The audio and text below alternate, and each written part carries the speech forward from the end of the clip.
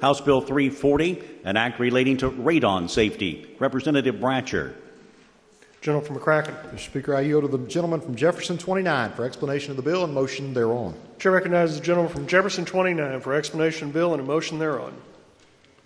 Thank you, sir. Could I uh, have the clerk report House Committee Substitute 1, please? Clerk, please report. House Committee Substitute 1 to House Bill 340. Gentleman from Jefferson.